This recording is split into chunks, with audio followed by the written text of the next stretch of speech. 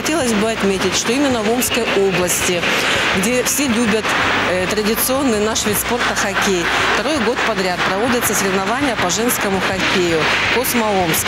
То есть это говорит о том, что развивается вид спорта, мы не останавливаемся на месте, двигаемся вперед. Ну а женский хоккей – это, наверное, отдельная тема, как в песне поется.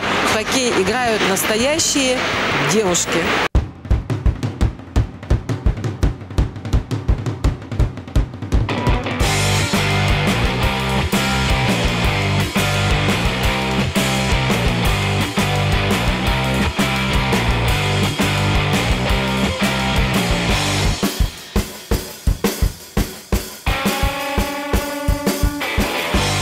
Вырос уровень турнира, потому что приехали игроки с разных городов, с разным уровнем подготовки.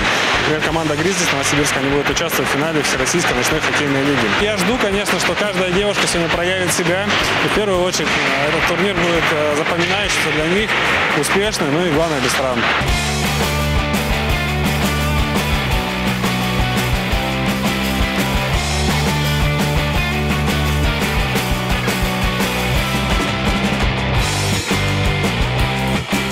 То, что мы выросли за год, это очевидно. Сейчас есть игра, есть спас, э, ребята друг друга видят, как бы все хорошо. А, То есть, в принципе, в целом мы собой довольны. То, что нарабатывали в течение года для этого турнира, мы все выполнили. Болельщикам отдельное спасибо. Кричали каждую игру, приходили даже в 7 утра и поддерживали нас. Это дорого стоит.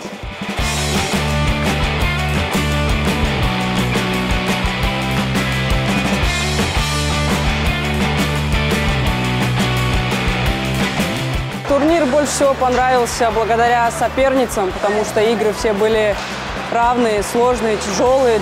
Старались, наверное, больше от обороны играть аккуратно, подсказывали друг другу, чтобы ну, не допускали никаких там обрезок, ошибок. В атаке, наверное, больше индивидуальные игроки у нас отличались. Как бы мы старались все-таки ну, играть в пас, видеть друг друга, чувствовать, но у нас одна звезда в нашей команде, которая забрала а, лучшего турнира нападающего. Это Кристина Коношкова. Она как бы в основном все шайбы и забросила.